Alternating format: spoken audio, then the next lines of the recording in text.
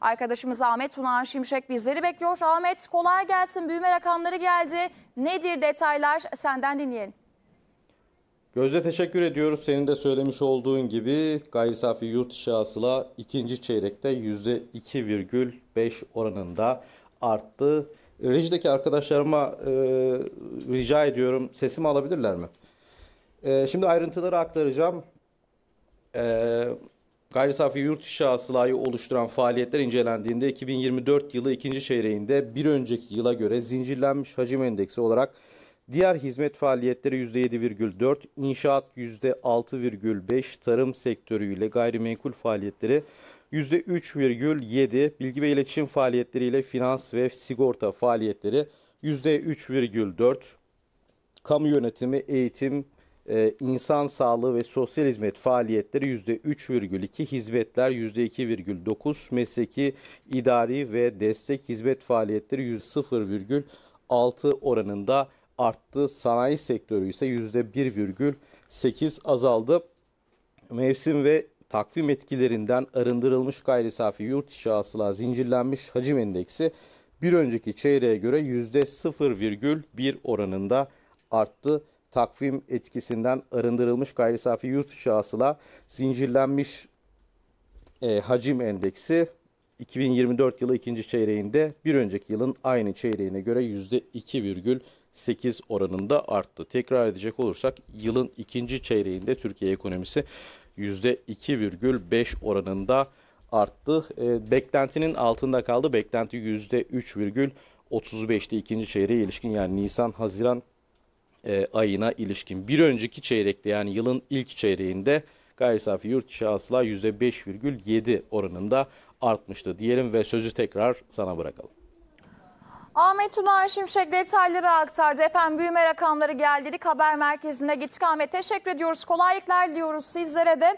Efendim büyüme %2,5'luk bir rakam ve çeyreksel dönemde, ikinci çeyrekte dönemsel olarak da %0,1'lik bir büyümeden bahsediyoruz. Şimdi e, konuklarımıza gideceğiz. E, uzmanlara soracağız büyüme performansını. Ekonomist doçent doktor Murat Turgut bizlerle. Yine İstanbul Beykent Üniversitesi Rektörü Profesör Doktor Volkan Öngöl hocam. Hoş geldiniz. Kolaylıklar diliyorum. İyi yayınlar diyorum. Bulduk Kolay gelsin. Çok teşekkür ediyoruz. Şimdi e, önemli verilerden bahsettik. Büyüme rakamı bugün gündemindeydi. %2,5'luk bir büyüme. Dönemsel %0,1'lik bir e, büyüme karşımızda. Beklenti 0,6'lık bir daralmaydı dönemselde. E, dönemselde aslında beklentinin üzerinde bir tablo takip ediyoruz ama e, öncelikle bu rakamı nasıl okudunuz? E, nasıl bir performans var? Volkan Hocam size başlayayım ardından Murat Hocam size döneceğim. Tabii ki de e, her şeyden önce beklentilerin altında gelmesi e, benim beklentilerim de bir miktar altında gerçekleşti. E, aslında biraz üzücü oldu diyebilirim. E, iki farklı bakış açısı var. Tabii bir taraftan e, böyle bir politika içerisinde, enflasyonla mücadele içerisinde e, daralan bir ekonomi değil, büyüyen bir ekonomiyle e, karşılaşıyor olmak en azından e, varlığı koruyan büyüklük anlamında hacimsel büyüklüğünü koruyan bir ekonomiyle karşılaşıyor olmak e, işin olumlu yanı ama tabii ki de e, şunu gözden kaçırmamak lazım. Türkiye için e, yaklaşık yüzde beşler civarında, 4,5-5'ler civarında bir doğal büyümenin altında kaldığımız sürece e, önümüzdeki yıllarda sıkıntı yaşamaya başlıyoruz. Özellikle işsizlik tarafında bunu çokça görmeye başlıyoruz. İşte bu açıdan baktığımızda ilk çeyrek gayet aslında e, 5.3 gibi yüksek bir rakamla gelmişti ama buradaki 2.5 ikinci çeyrek için biraz ortalamayı da düşüren bir e, süreç olarak karşımıza çıkacak. E, yıl sonu beklentisi de %3.5-4'ler civarında idi. Zannediyorum bu yıl sonu büyüme e, beklentisinde bir miktar aşağıya çekecek diye düşünüyorum. E, bu ikinci çeyrek verileri şu an için. Şimdi Murat Hocam e, size de soralım. Rakama baktığımızda ikinci çeyrekte yıllık bazda hizmet sektörü %7.4, inşaat sektörü %6.5, tarım sektörü %3.7 büyümüş. Sanayi sektöründe %1.8'lik bir daralmayı takip ediyoruz. Zaten iş talebe yönelik üretim yapan şirketlere Mehmet Şimşek'in de mesajları olmuş. İş talepte bir daralma olabilir, enflasyonda bir düşüş mücadelesi çünkü karşımızda. Ne dersiniz bu büyüme rakamları ve kalemleri nasıl okudunuz? E Şimdi şunu ifade etmemiz lazım öncelikli olarak. Yani biz aslında beklenti olarak 3'e yakın bir rakamın olabileceğini öngörmüştük ama 2,5 rakamı da aslında şunu ifade ediyor. Yani sizin de KC'de belirttiğiniz gibi ülke ekonomisinin işte 16 çeyrektir büyüdüğü yani aşağı yukarı 4-4 senede sürekli büyüdüğünü ifade ediyor. Pandemi döneminden sonraki ciddi büyüme ivmesi hafif hız, hız kesebiyle devam ettiğini gösteriyor. Ama diğer yandan şunu da söylememiz lazım. Enflasyonla mücadele eden bir ekonomide büyüme rakamlarının bir miktar aşağı gelmesi ya da beklentilerin altında oluşmasını anormal karşılamamak lazım bence. Ben biraz da bu tarafa bakmak istiyorum. Yani bu rakamların 3 seviyesinin altına gelmiş olması, 2018'in altına gelmiş olması bence enflasyon politikalarının bir, bir bakıma hedefe ulaştığını gösterdiğini, ulaşmaya başladığını gösteriyor. Bir de bunun bu tarafı var. Yani özellikle sizin de belirttiğiniz gibi sanayi tarafında yüksek faize bağlı olarak e, gelen bir e, durgunlaşma belirtilerini biz gözlemliyoruz. Bu detay e, e, bilginin içinde, datanın içinde. Şunu da ifade etmekte fayda var. Gerçekten ekonominin genelinde ciddi bir daralma olmaksızın, büyüme rakamlarında ufak çaplı olsa bir gerileme olmaksızın enflasyon baskısını e, yenebilmemizin pek mümkün olmadığını düşünüyorum ben açıkçası. Bence vatandaş da bunun farkında. Bir miktar büyümeden fedakarlık edilmesi gerektiğinin farkında olduğunu düşünüyorum vatandaş, vatandaşın. Bu çerçevede ben rakamları çok olumsuz bulmuyorum. Şöyle buluyorum. Yani uygulanan enflasyonist politikaların bir Murat Hocam e, yine sizle dönmeye çalışacağız. Sesimizi düzeltelim. sektör Hocam Benim duyabiliyor musunuz duyabiliyor bizleri? musunuz? Evet biz sizi duyuyoruz hocam. e, Dinliyoruz. Tamam. Yani şunu ifade etmek istiyorum. Özellikle e, bu mevcut enflasyonist, anti-enflasyonist politikaların bize sunduğu bir rakamdır bu aç- açıkçası. Yani çok bu yüzden ha niye böyle oldu diye bir şaşırma ve sürpriz belirtisi içinde değilim açıkçası. Rakamlar 2.8 yerine 2.5 gelmiştir. Bir, biraz bir miktar beklentinin altına gelmiştir. Doğrudur. Ama bu da enflasyonla ilgili mücadelenin doğru gittiğini ve belli bir sonuca ulaşmakta olduğunu bana gösteriyor. Ben bu e, bu e, büyüme rakamları biraz da bu çerçeveden okumak istiyorum açıkçası. Şimdi Volkan Hocam size de hemen döneyim. Ee, çünkü büyüme kompozisyonlarında dengelenmenin önemine her defasında bir vurgu vardı ekonomi yönetiminden. Daha dengeli bir büyüme, işte net eksportun katkısının e, negatiften artıya döndüğünü bizler e, önceki çeyrekte, ilk çeyrekte de görmüştük. Şimdi e, tüketim harcamalarına bakıldığında hane halklarının nihai tüketim harcamaları ikinci çeyrekte %1.6, devletin nihai tüketim harcamaları %0.7, gayri safi sabit sermaye oluşumu ki oldukça önemli çünkü makine, teçhizat yatırımları ve inşaat yatırımları kalemini buradan görüyoruz. Orada da %0.5'lik bir artışın olduğu karşımızda. Ee, özellikle hizmet sektöründe büyümenin, inşaat sektöründe büyümenin devam ettiğini de e, gelen veride takip ettik ama ne dersiniz e, buradaki kalemleri okumak adına? E, Hizmet sektörü ve inşaat sektöründen başlarsak hizmet sektöründeki büyüme e, biraz da beklediğimiz bir süreç çeyrek için aslına bakarsanız ama e, inşaat tarafı yine e, kendi rekorlarını kıran seviyelere doğru geliyor gibi gözüküyor. 6.4'lük bir e, büyüme e, gerçekleştirmiş. İnşaat tarafı bizim için evet büyümeye çok ciddi e, olumlu katkı yapsa da sizin de bahsettiğiniz bu e, dışarıya ihraç etme şansının olmadığı bir e, unsur olduğu için aslında e, bizim için orta vadede yine sıkıntı yaratan unsurlardan bir tanesi olarak karşımıza çıkıyor. Özellikle inşaata dayalı bir büyüme kompozisyonu yine karşımızda olursa. Diğer taraftan e, tüketim harcamalarındaki artış 1.6, e, %1.6'lık artış aslında e, az sayılamayacak bir artış. Çünkü en nihayetinde bizim enflasyonla alakalı para politikası içerisindeki öncelikli hedeflerimizden bir tanesi aslında yurt talebi kısmak. Bu yurt talebi kısma noktasında e, önemli bir yol alınmış olsa da hala e, biz %1.6'lık bir artışı görüyoruz. Devlet tarafında e, burada bir miktar e, stabil olunduğunu rahatlıkla söyleyebiliriz. Gayri safi sabit sermaye oluşumundaki 0.5'lik artış ise e, bence yine sıkıntılı olabilecek unsurlardan bir tanesi. Çünkü gayri safi bir rakam yani en nihayetinde buradaki amortisman giderlerini düştüğünüz zaman e, sanki nette bu rakam bize negatif gibi e, gözükecektir. Dolayısıyla yatırım tarafında bir miktar azalma var e, gibi gözüküyor. Özellikle sanayi tarafındaki zaten e, küçülmenin de e, göstergesi olarak da okunabilecek bir rakam diye düşünüyorum şu anda. Şimdi e, özellikle büyüme kalemlerine şöyle bir baktığımızda e, mal ve hizmet ihracatının e, yine sınırlı da olsa pozitif bir e, tarafta olduğunu takip ediyoruz. Tabii e, özellikle geçtiğimiz çeyrekte e, ihracatın pozitif katkısını konuşmaya başlamıştık. Net export tarafına baktığımızda dış talebin eksi bölgeden artı bölgeye doğru geçtiği bir tablo vardı. Dolayısıyla ihracatı artırarak bir yandan da iç talebi e, düşürerek yani tüketim tarafındaki o düşüşü ve ihracattaki artışı sağlayarak büyümede daha sağlıklı bir kompozisyon vurgusu her defasında ekonomi yönetiminin ifade ettiği unsurlar olarak karşımıza çıkıyordu. E, şimdi Murat Hocam size döneyim. Hizmet tarafının çok güçlü olduğu bir tablo. Ee, tabii hizmet enflasyonundan bahsediyoruz zaten sık sık. Merkez Bankası son PPK toplantısında da buna dikkat çekmişti. İşte kira, eğitim, haberleşme gibi birçok kalem. Ee, ama bunun e, sanayi tarafına baktığımızda sanayi tarafında daralma. Dolayısıyla hizmet enflasyonunun yarattığı tablo reel sektörde sanayiye mi yansıyor? Bu kalemleri siz e, nasıl okuyorsunuz? E tabii burada aslında bakarsanız çok e, böyle olağanüstü sürpriz bir kalemde olağanüstü sürpriz kalem öne çıkmıyor. Şimdi hocam da belirttiği gibi burada tüketim harcamalarından kaynaklanan büyüme rakamları her zamanki başı çekiyor. Özellikle hane halkının tüketimi büyümenin motoru olmaya devam ediyor.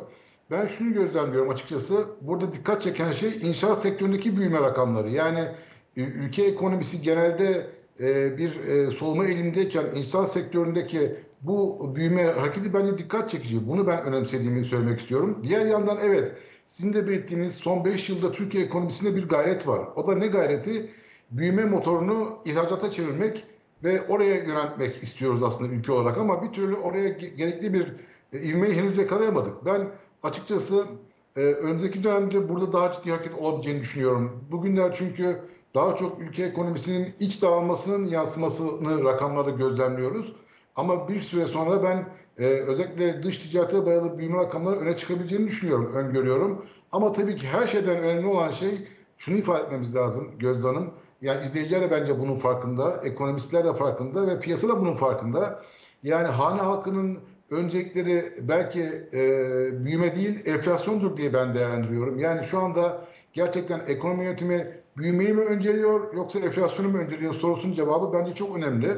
Burada ben şunu gözlemliyorum. Gerçekten bir müddet, bir müddet e, büyüme rakamlarında ufak çaplı tavizler vere, verebiliriz. Buna karşılık enflasyonun kontrol altına alım çabasını ben gözlemliyorum. Bence bu da, bu da çok sağlıklı bir süreç. Çünkü ma malumunuz işte 15-16 çeyrektir büyüyen bir ekonomi var. E, büyüyen ekonomilerin mutlaka enflasyonist bir etkisi vardır ekonomilerde. Bu da bilinmez bir gerçek. Belki de e, şu anda Türkiye şöyle bir ayrımı e, yapıyor e, kendi çerçevesinde, kendi ekonomi vizyonunda.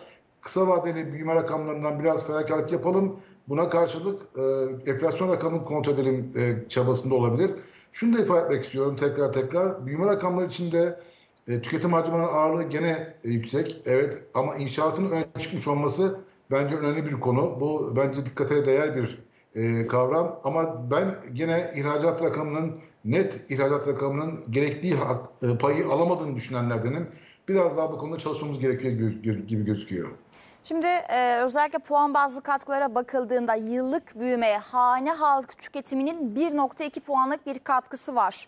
Kamu harcamalarının 0.1 puanlık bir katkısı var. Yatırımlar 0.1 puan büyümeye katkı yapmış yani desteklemiş. Bir de aşağı tarafa çeken, baskılayan tarafa bakıyorum büyümeyi. Net ihracatın 1.3 puan, stokların 0.2 puan aşağıya çektiğini görüyoruz. Şimdi Volkan Hocam size döneyim. Hane halkı tüketiminin e, puan bazlı katkısı 1.2 puan ama e, sanıyorum ki biz önceki çeyreklerde e, 7-8 puanları konuşur vaziyetteydik. Dolayısıyla aslında buradaki önemli bir iyileşme de karşımızda mı?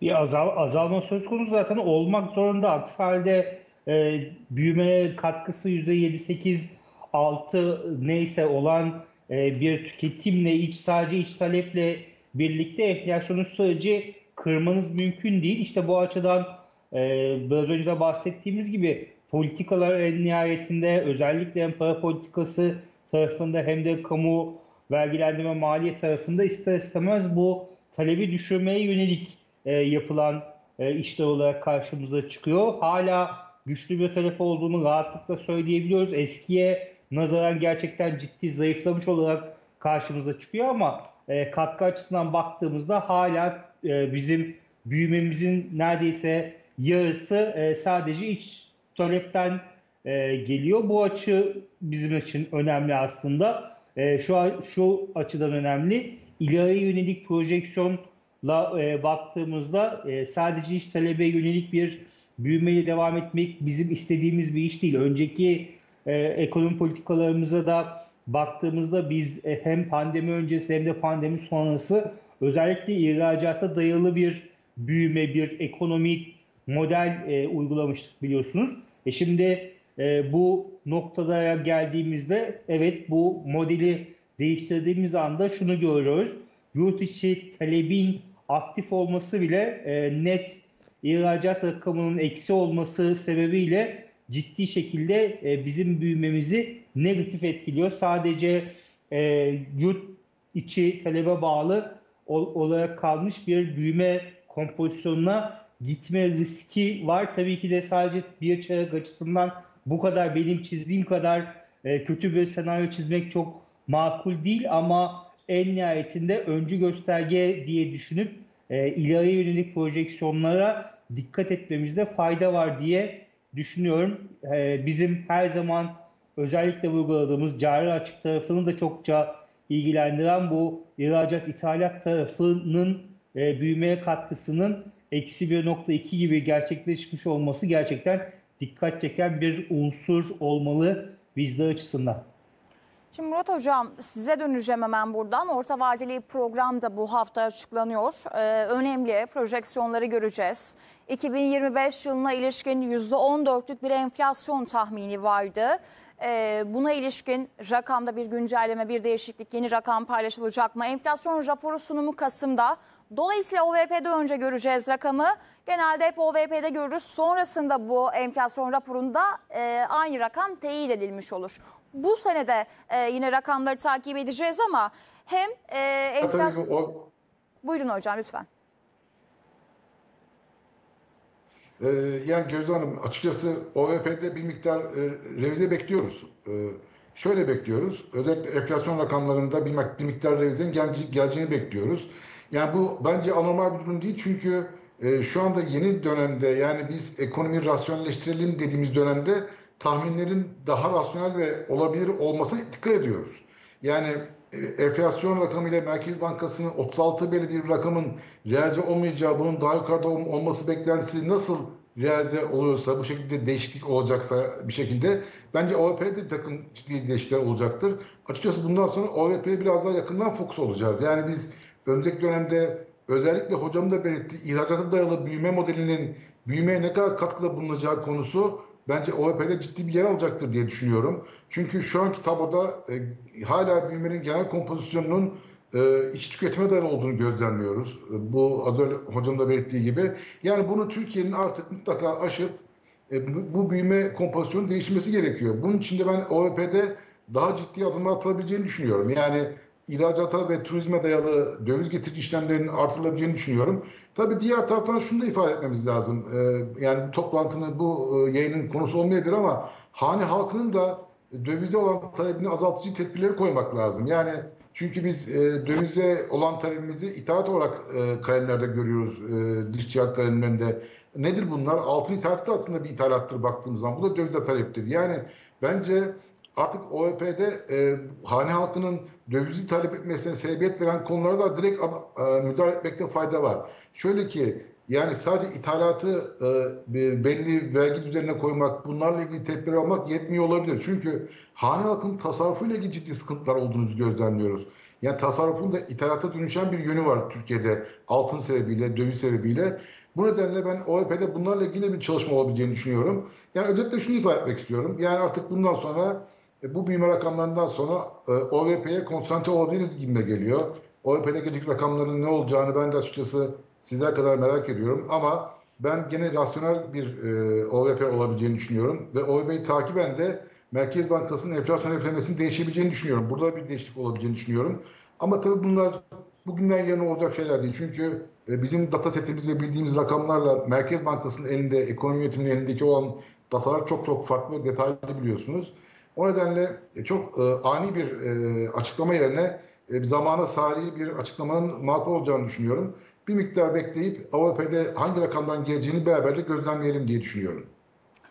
Şimdi e, Volkan Hocam, orta vadeli programa ilişkin tahminler bu hafta gelecek dedik. E, özellikle hem e, enflasyonda düşüşü sağlayacak bir para politikası hem de büyüme tarafını çok da zedelemeden e, gelen adımlar. Dolayısıyla e, her iki e, bu dengede e, bizler politikalarda neler e, göreceğiz? Yani bir de hemen şu para politikasına ilişkin beklentileri de ekleyeyim üzerine. E, çünkü e, hizmet enflasyonuna vurgu sıkı duruşa devam mesajı karşımızdaydı ama şunu demişti e, ekonomi yönetimi. Faiz indirimleri gelse dahi sıkı duruşa devam ediyoruz. Dolayısıyla faiz indirimi görsek bile diğer unsurlarla para politikası desteklenmeye devam ediyor ama e, bu hedefler doğrultusunda bizler e, politikalarda neler takip ederiz? Şimdi faiz indiriminden yine sondan başlayacak olursak faiz indirimi evet para politikasının tek unsuru değil ama en güçlü ve en efektif kullanılan unsuru olduğunu gözden kaçırmamak lazım. Dolayısıyla faiz indirimi noktasında çok fazla aceleci e, davranılacağını düşünmüyorum. Ben o OVP'de de e, politika ile alakalı e, detayları görsek orada da yine e, ben e, sıkı duruşa bir vurgu olacağını ve bununla alakalı yürüyüşün devam edeceğini düşünüyorum. Çünkü e, burada para politikası noktasında özellikle likidite fazlasını piyasadaki hala e, çekebilmiş değil Merkez Bankası. Kendi yapmış olduğu açıklamalardan da görüyoruz. En son enflasyon raporunda da e, baktığımızda e, emisyon tarafındaki büyümenin de e, ilginç şekilde enflasyonla çok orantılı olduğunu gördük. Yani büyümeden gerçekten taviz vermemeye çalışıyor. Çok fazla e, tabiri caizse e, bizlerin nefes alma şansını e, devam ettirmeye çalışıyor. Hem firmalar hem de kişiler bazında buradaki havuzun içerisindeki parayı ya da suyu çok fazla çekmiş değil Merkez Bankası ama önümüzdeki dönem için eğer ki gerçekten bahsettiğiniz gibi 2025 sonunda e, biz %15'ler seviyesine inecek bir enflasyon hedefi göreceksek o zaman biraz daha sert adımlar göreceğiz gibi gözüküyor. Özellikle biz e, evet para politikası tarafını çokça gördük ama maliye politikası tarafında e, vergilerin bir miktar düzenlenmesi okey ama onun dışında kamu yatırımlarıyla alakalı tasarruf tedbirlerinin hayata geçmesiyle alakalı adımların çok sert olarak e, o karşımıza geldiğini görmedik. 2025 yılı itibariyle bence asıl e, nokta OVP'de de karşımıza çıkacak. Özellikle maliye politikası tarafında e, biraz daha sert adımları göreceğiz. Kamu harcamalarıyla alakalı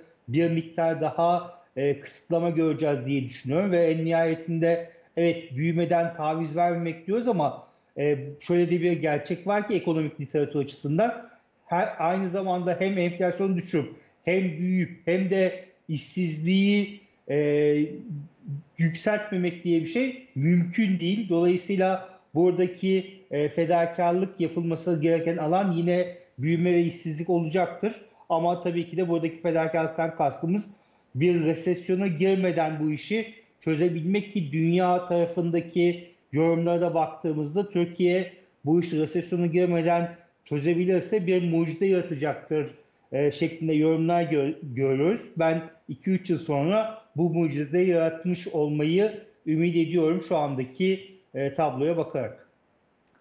Volkan Hocam çok teşekkür ediyoruz değerli yorumlarınızı paylaştığınız için. Eşlik ettiniz. Murat Hocam çok teşekkürler değerli yorumlarınızla. Ee, önemli veriye eşlik aktardınız kıymetli yorumlarınızı. Kolaylıklar diliyorum.